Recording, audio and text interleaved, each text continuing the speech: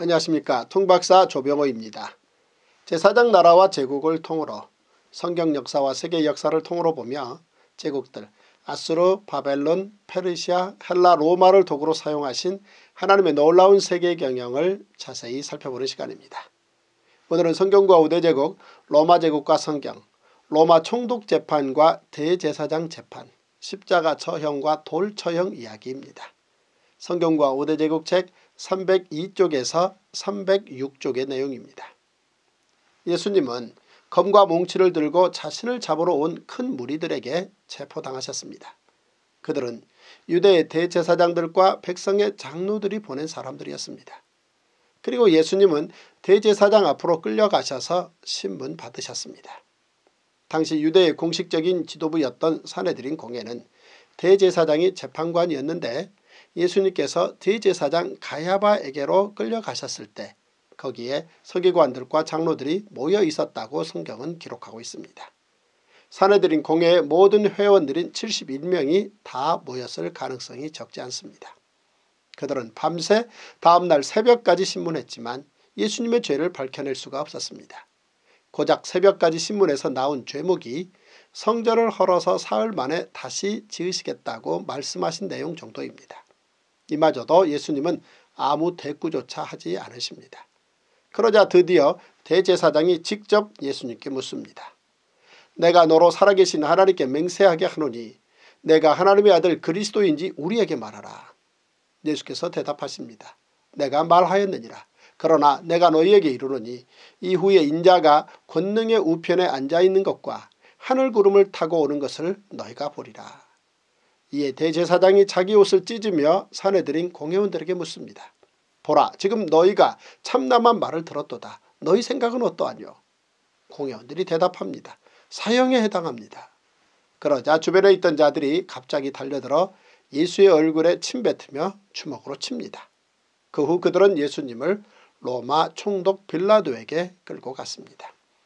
마태복음 27장 1절에서 2절입니다. 새벽에 모든 대제사장과 백성의 장로들이 예수를 죽이려고 함께 의논하고 결박하여 끌고 가서 총독 빌라도에게 넘겨주니라. 그러자 빌라도는 법치국가 로마의 정치인답게 예수님을 신문합니다. 빌라도는 예수님께 묻습니다. 내가 유대인의 왕이냐? 그러자 예수님께서 빌라도의 질문에 즉답하십니다. 내 말이 옳도다. 빌라도가 깜짝 놀랍니다. 아마도 이렇게 쉽게 예수님께서 유대인의 왕이냐는 자신의 질문에 답할 줄은 상상도 못했기 때문일 것입니다. 그러자 정작 당황한 빌라도는 한 발 물러서 다시 묻습니다. 그들이 너를 쳐서 얼마나 많은 것으로 증언하는지 듣지 못하느냐. 그러나 예수님께서는 이에 대해서는 한마디도 대답하지 않으십니다. 이에 총독이 크게 놀라워합니다. 당시 유대는 로마의 속국입니다. 그런데 예수님이 로마 황제가 임명하지 않은 자칭 유대의 왕임을 시인했음에도 빌라도는 예수님을 바로 유죄로 단정하지 않습니다. 그래서 유월절 전례에 따라 예수님을 유월절 특사로 사면해 주려 했습니다.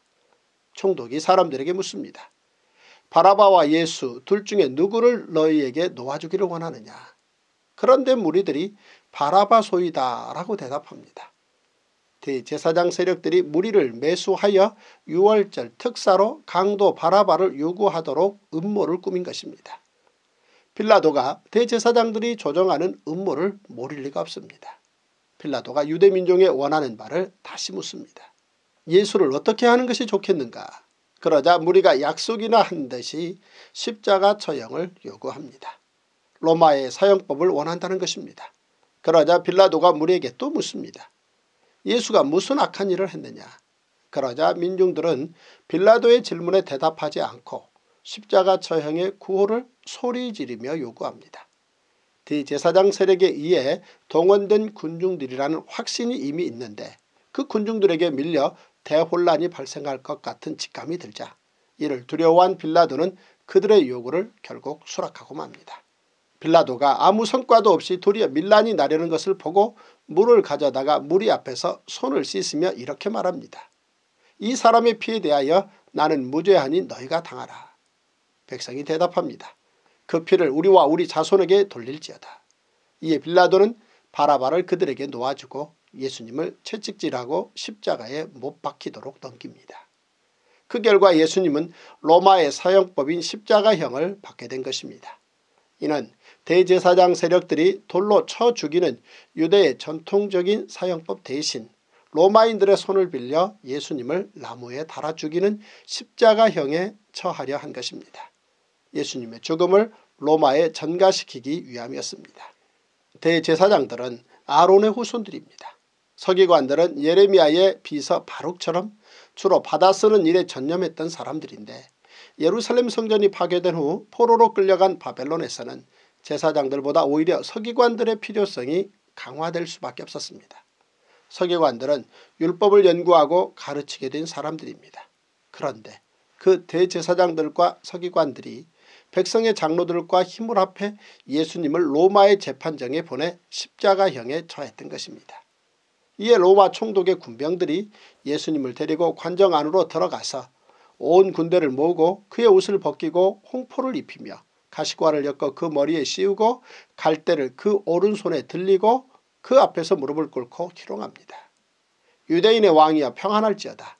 그리고 그에게 침을 뱉고 갈대를 빼앗아 그의 머리를 칩니다.